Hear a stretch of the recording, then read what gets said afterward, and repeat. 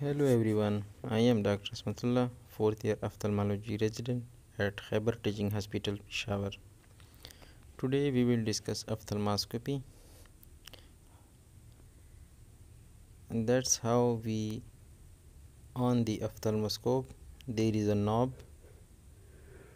just move it clockwise press the white button and move it clockwise so it will get on there is another knob which is called lens adjustment knob.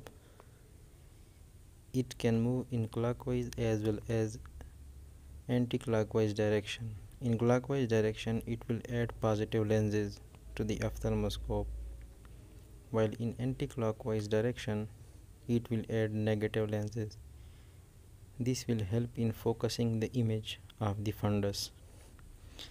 These are different apertures of the ophthalmoscope. By moving the knob we can adjust it. This aperture is called semicircle. This is used for small pupil and this big round is used for dilated pupil examination. The blue one is called cobalt blue used in the corneal ulcer staining and this is grid. Grid is used in fundus images. This is slit. And this one is called red free. We examine red blood cells microhyphema or hyphema and optic disc.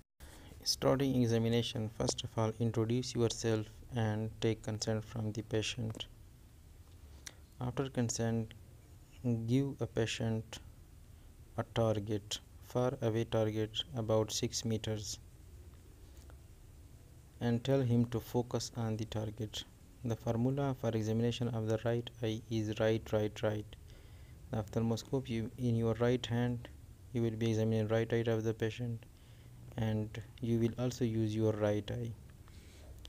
Stand right to the patient and first of all use your index finger on the lens adjustment knob.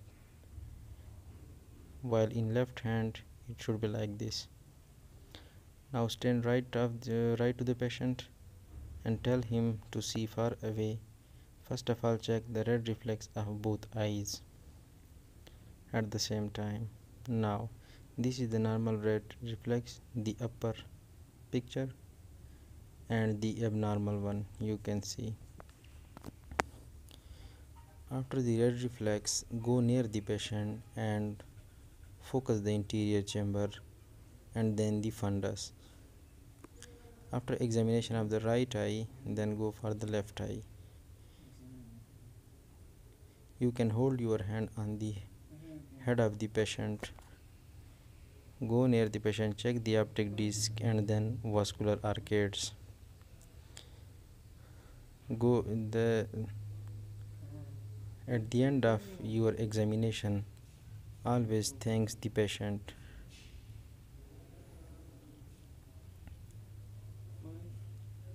Thank you very